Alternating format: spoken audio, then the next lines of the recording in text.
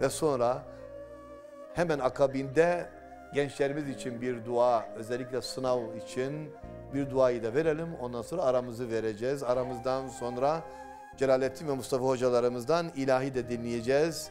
Ya Hayyu Ya Kayyum.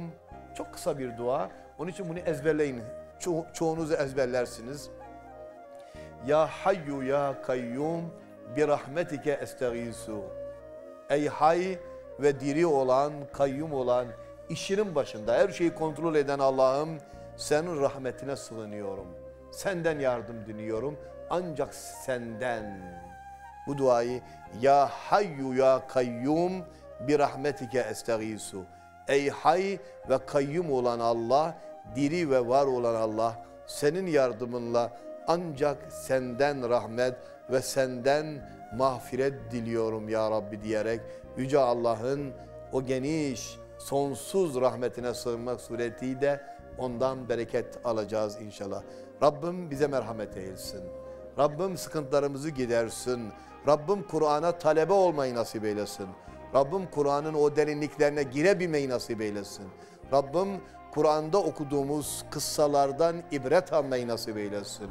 Boş sözler değil, yalnızlı sözler değil, iç aleme hükmeden, bizi Allah'a yakınlaştıran, Allah'a kulluğa lütfettiren o güzel manevi hazları almayı nasip eylesin inşallah. Çünkü gerçek mümin Allah'tan, Allah'ın kendisine önüne açmış olduğu şeylerden, o bilgilerden ibret alıp da kendisine bir yol çizebilen insanlardan eylesin. Mevlam bizi dünya ve ahiret aleminde zelil etmesin inşallah ve hem Yasin suresini hem Kehf suresini bu gece içinde Peşembe Cuma'ya bağlayan gece içinde bol bol okuyalım. Çünkü Hazreti Peygamber Kehf suresini okuyanın her türlü şerden emin olacağını ifade ediyor. Okumak yetmez. Okumakla beraber manasını da demin anlattığım gibi derin derin düşüneceğiz inşallah.